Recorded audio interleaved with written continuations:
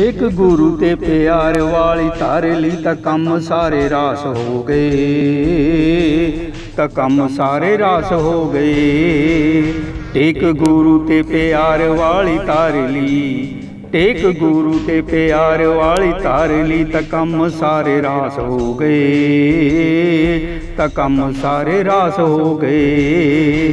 ਸਤਨਾਮ ਦੀ ਕਿਰਤ ਜਦੋਂ ਹੋਈ ਸਤਨਾਮ ਦੀ ਕਿਰਤ ਜਦੋਂ ਹੋਈ, ਤਾਂ ਫੇਲ ਹੁੰਦੇ ਪਾਸ ਹੋ ਗਏ। ਤਾਂ ਫੇਲ ਹੁੰਦੇ ਪਾਸ ਹੋ ਗਏ।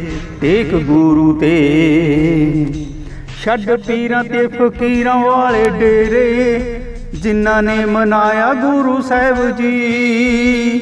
ਛੱਡ ਪੀਰਾਂ ਤੇ ਫਕੀਰਾਂ ਵਾਲੇ ਡੇਰੇ ਜਿਨ੍ਹਾਂ ਨੇ ਮਨਾਇਆ ਗੁਰੂ ਸਾਹਿਬ ਜੀ, ਤਾ ਮੜੀਆਂ ਮਸਾਣੀਆਂ ਨੂੰ ਛੱਡ ਕੇ, ਤਾ ਮੜੀਆਂ ਮਸਾਣੀਆਂ ਦੀ ਛੱਡ ਕੇ, ਜਿਨ੍ਹਾਂ ਨੇ ਤੇ ਆਇਆ ਗੁਰੂ ਸਾਹਿਬ ਜੀ, ਜਿਨ੍ਹਾਂ ਨੇ ਤੇ ਆਇਆ ਗੁਰੂ ਸਾਹਿਬ ਜੀ, ਸਾਰੇ ਭੂਤ ਤੇ ਪਰੇ ਤੇ ਉਦੋਂ ਭੱਜ ਗਏ ਸਾਰੇ ਭੂਤ ਤੇ ਪਰੇ ਤੇ ਉਦੋਂ ਭੱਜ ਗਏ ਜੋ ਨਾਮ ਸਾਸੋ ਸਾਸ ਹੋ ਗਿਆ,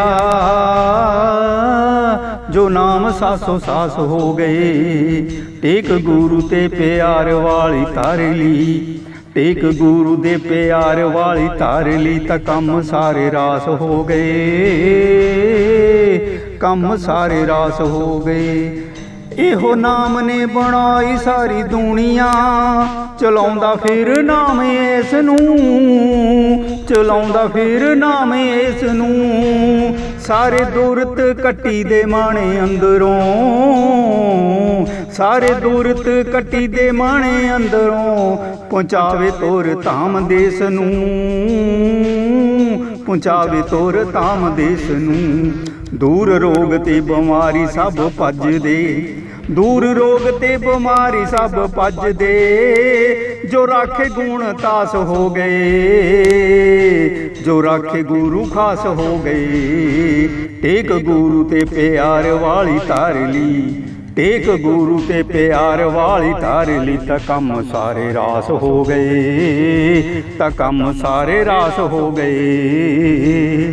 ਤਰ ਵਿਸ਼ਵਾਸ ਗੁਰੂ ਸਤ ਗੁਰ ਤੇ ਇਹ ਗੱਲ ਸਾਰੀ ਮਨ ਤੇ ਰਹੀ। ਤਰ ਵਿਸ਼ਵਾਸ ਗੁਰੂ ਸਤਗੁਰ ਤੇ, ਇਹ ਗੱਲ ਸਾਰੀ ਮਨ ਤੇ ਰਹੀ। ਮਨ ਗੁਰੂ ਜੋ ਖਿਲਾਵੇ ਸਾਰੇ ਜੀਆਂ ਨੂੰ, ਮਨ ਗੁਰੂ ਜੋ ਖਿਲਾਵੇ ਸਾਰੇ ਜੀਆਂ ਨੂੰ ਜਿੱਤੇ ਉਹਦੀ ਤੋਰ ਤੋਂ ਸਹੀ, ਹੋ ਜਿੱਤੇ ਉਹਦੀ ਤੋਰ ਤੋਂ ਸਹੀ। ਕੋਈ ਦੁਸ਼ਟੀ ਨਾ ਮਾਰ ਸਕੇ ਉਹਨੂੰ, ਕੋਈ ਦੁਸ਼ਟੀ ਨਾ ਮਾਰ ਸਕੇ ਉਹਨੂੰ ਜੋ ਜਪ ਦੇ ਵਿਆਸ ਹੋ ਗਏ, ਜੋ ਜਪ ਦੇ ਵਿਆਸ ਹੋ ਗਏ ਇੱਕ ਗੁਰੂ ਤੇ ਪਿਆਰ ਵਾਲੀ ਧਾਰ ਲਈ।